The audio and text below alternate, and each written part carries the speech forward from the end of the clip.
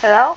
Um, uh, I don't know if anybody can hear me or not, but if they could hear me, I would like for you guys to pick out a game. Like, I was thinking between Bloxburg or an Obby game, but I'm literally not sure.